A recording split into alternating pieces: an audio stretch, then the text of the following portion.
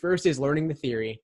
So just learning Yeah. the theory, reading the fundamentals, reading about the strategies and the question types. Second is accuracy, doing questions by type, untimed.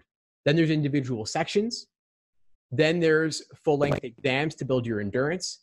Then there's review. So it's a five step process. The acronym is LASER. It's like a laser approach to studying, learning, accuracy, sections, exams, and review.